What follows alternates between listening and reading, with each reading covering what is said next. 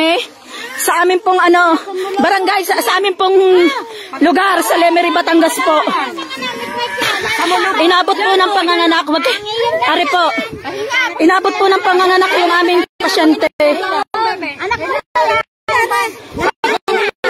Pinalabas po. Labas na naman ang bata. Ate, kanina pa kami tawag ng tawag sa inyo. Anak niyo are. Bago ho kayo dapat, ano, inintindi niyo muna ang anak niyo. Kami ho kanina pa tawag ng tawag. Sunduin niyo si Bebe. Are po. Tingnan niyo po. Kami po ay taga dito sa Sambal, Ilaya. Galing po kami ng emergency. Galing po sila ng emergency. Alam po nila na manganganak na po ang aming pasyente. Pinalabas po nila. Tama po ba ang ginawa nilang ito?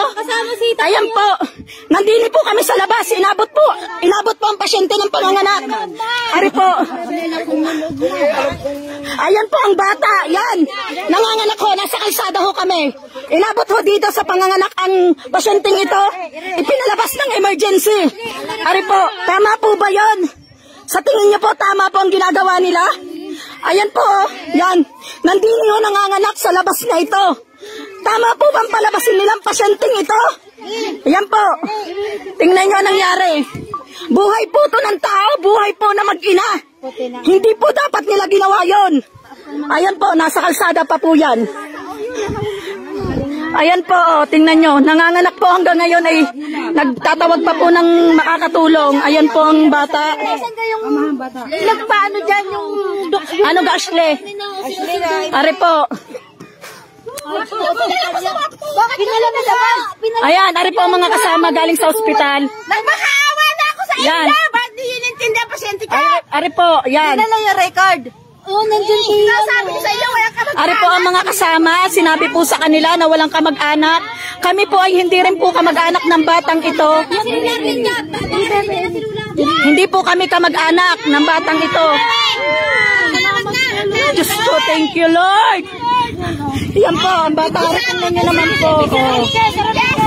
Ano pong dapat gawin sa ospital ng emergency? Yan, ano pong dapat gawin? Sa tingin niyo po. Ayan po.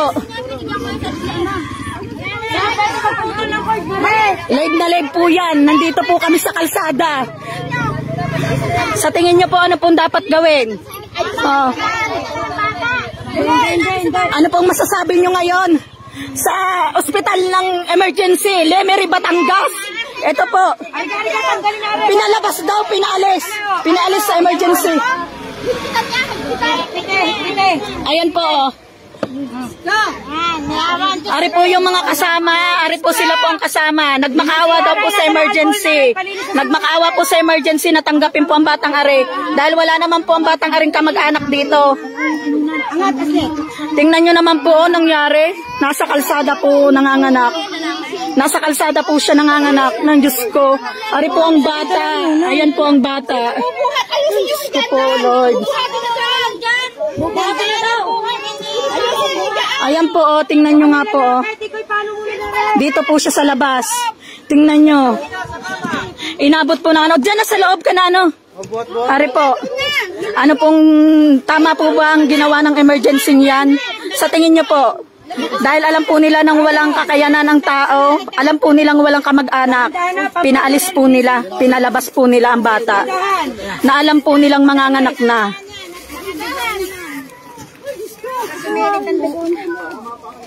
Ay, nabuhay din. Galing yan emergency. Yung. Hoy, alam niyo ko, Tita Marlene, nung kayo pumunta ng emergency, anong ano? Nagmakaawa na. Ari po ang nagmakaawa sa ano. Pakiayusin nyo kami mga kapitbahay lang. Yan. Mga anak na. At hindi nyo man lang inano. Pina, pinauwi po nila. Ano yun yung oras? Kung anong oras ng bata? Dahil yun ang tatanong sa